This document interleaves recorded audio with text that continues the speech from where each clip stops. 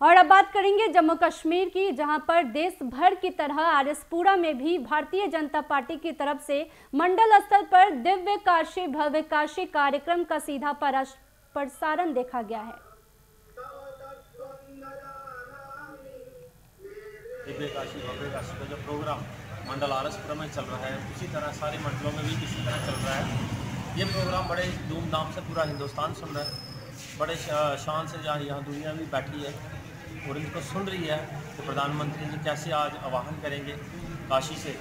और पूरा जो प्रोग्राम और आने वाले काशी में जो डेवलपमेंट हुई है, जो पहले काशी थी और आज काशी है, वो सारा जो फ़र्क आज दुनिया देखेगी कि आज से जो पहले सरकारें रही हैं, उन्होंने कुछ नहीं किया। मगर आज आज साधु समाज भी खुश है, पूरा हिंदुस्तान खुश है कि आज काशी में एक डेवलपमेंट होने जा रही है। दिव्य काशी, भव्य काशी का जो प्रोग्राम मंडल आरएसपुरा में चल रहा है, उसी तरह सारे मंडलों में भी इसी तरह चल रहा है। ये प्रोग्राम बड़े धूमधाम से पूरा हिंदुस्तान सुन रहा है। बड़े शान से जहाँ यहाँ दुनिया भी बैठी है और इनको सुन रही है कि तो प्रधानमंत्री जी कैसे आज आवाहन करेंगे काशी से।